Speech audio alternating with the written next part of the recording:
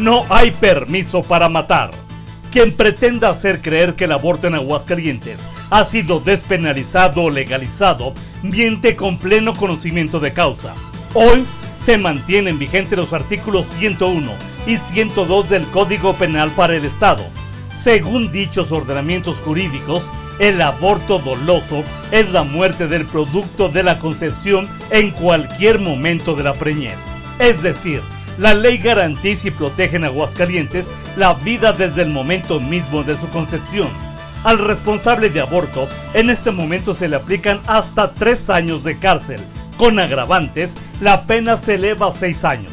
Más aún, cuando el aborto doloso sea realizado por un médico, un cirujano o un partero, se les aplicarán las mismas penas de cárcel y adicionalmente serán suspendidos hasta cinco años en la profesión de su oficio. Lo que ha sucedido es que la Suprema Corte de la Nación mandató al Congreso de Aguascalientes modificar tres artículos relacionados con estas penas, solo que hasta ayer domingo el Poder Legislativo no ha sido notificado. En los hechos y fuera del festejo de las abortistas, en tanto el Congreso local no modifique los mencionados artículos constitucionales, no obtendrán su permiso para asesinar inocentes en el vientre de su madre.